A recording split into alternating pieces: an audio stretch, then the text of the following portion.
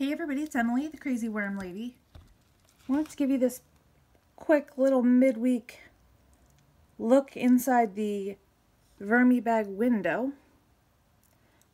As you will probably notice, there's quite a number of springtails, but also quite a large number of worms. So I am pretty pleased with this so far. But I just wanted to give you guys this look into the window and I'll be back with you guys for another update real shortly. If you look on the apple here right in the front, you will also notice um, a few potworms as well.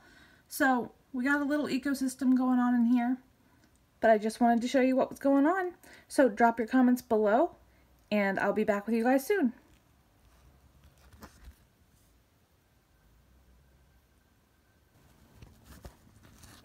Hey everybody, it's Emily, the Crazy Worm Lady. I'm here today for another Vermibag update. The worms seem to be really into these apples we put in here. And they've got a lot of help, it looks like, from the springtails. But um, I wanted to peek inside, see if they needed any more food, and um, check and see if we should add any more bedding. So let's get up top, and we will take a look. Alright, so let's unzip our top here. This, um, where's my zipper? This mesh screen seems to be working relatively well, um, letting it breathe in here and keeping out the bugs. So this top layer has gotten really dry, but let's take a look at our apples. They're not even really breaking down yet. I think the worms are just really kind of enjoying being in this area.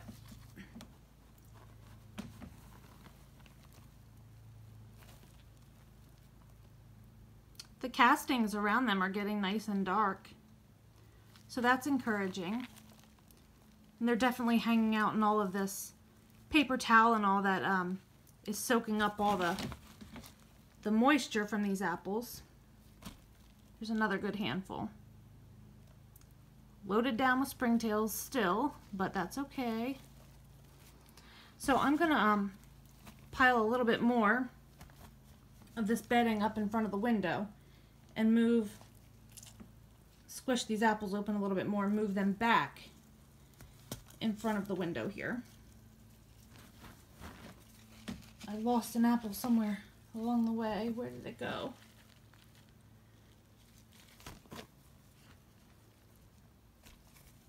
Oh, the other apples down here in the bottom. So I punctured a few holes in these two apples. Here's the third one. I'll puncture a hole in this one too. It helps it break down more and then the worms can really get into it. But I'm going to kind of pile this bedding up beneath it to hold these apples right at the level of our window since that's fun to watch. And now I just want to dig through the rest of the bin a little bit. I always call it a bin. You obviously, you guys know it's a bag, the vermi bag, but um, it's habit. So we still have these um, paper towel rolls, toilet paper rolls, things like that, that are acting as um, a bedding in here. And this coconut coir is still being processed.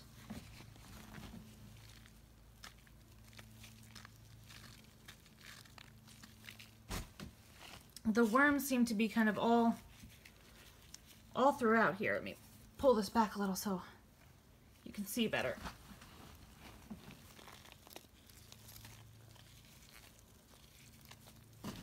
It's definitely on the drier side. I'll have to add some more water to it today. And I'm thinking for added fun and benefit for us in front of the window, I'm going to add a little bit more food in front of it. You can see this onion's really not doing much of anything yet, so I'll break this up a little bit as well. So, let me get this food here. I have it super wet and nasty, but I think it will definitely entice the worms over here. So that is the remnants of some soup stock. Definitely really wet. That will definitely help the moisture in this bin bag. So I'm going to pile all of this, all of this food right in front of the window. I'll even add the onion skin over here.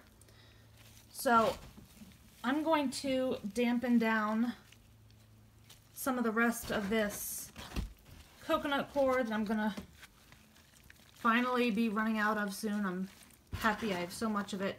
So let me add some of that.